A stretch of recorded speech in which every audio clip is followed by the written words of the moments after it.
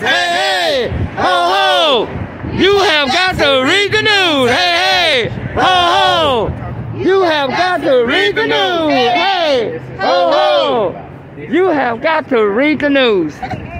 That's, oh, I like that one. That's right, y'all. Y'all, I, I love what you guys are doing. We got to keep this going because we, uh, we, we now getting attention that we need to let people know what's going on up there. Because again, a lot of people don't know because a lot of people don't look at the news. So we gotta, uh, by us being out here, we bringing awareness to what is going on here in our community, and we need to let the continue to let the people know that uh, we're not going to continue to uh, tolerate this, and so we have to continue to be out here every single uh, month, and, and and until every family across the Dallas-Fort Worth area get the justice that they need. We have to continue to be out here. And uh, I will be going to the commissioner court next week, next Tuesday. I already don't talk to him. Uh, the bottom line is we need a new uh, we need a new county judge that's gonna that cares about the community. Yes. Because if, if the judge we got now cared about the community, there's no way that we will have that many deaths here in Tarrant County.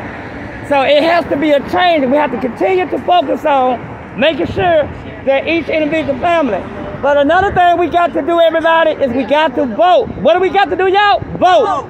Why, did it, why is that important? Because this a guy that was elected as our sheriff, he had to be elected by who? The people.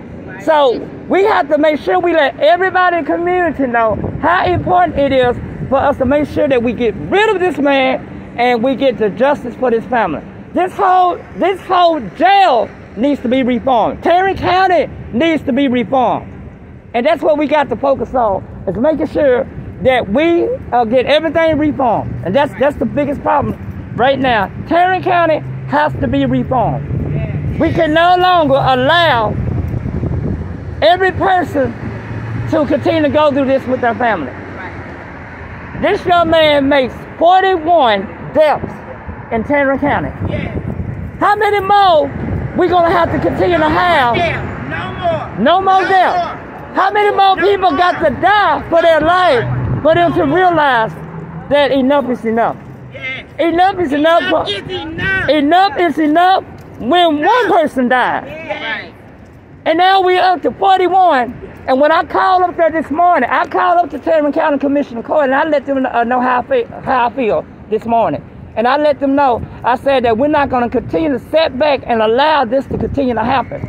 And I will continue to call. I'm encouraging everyone to continue to call. Get your friends and family to call and continue to bug them until they do something about this. Yeah. I will be going to the Tarrant County Commissioner Court next Tuesday, not tomorrow, but next Tuesday. Yeah. I let them know that they will hear my big my big ass mouth. Yeah. Because we cannot continue to allow this to happen. Yeah. And we're gonna stand by with both of y'all yeah. to make sure that y'all get justice in every person that lost a loved one on the neglect and uh, in the custody of them. We're not gonna let that happen, y'all. What do we want? Justice. What do we want it? Now. What do we want? Justice. What do we want it? Now. And we don't get it. Shut it down. And we don't get it. Shut it down. What do we want? Justice. What do we want it? Now. What do we want? Justice. And we don't get it. Shut it down. And we don't get it. Shut it down. Say his name. Traylon Wormley. Say his name. Traylon Wormley. What is his name? Traylon Wormley. Y'all better say his name. Traylon Wormley. No justice. No peace. No justice. No peace. No. Peace.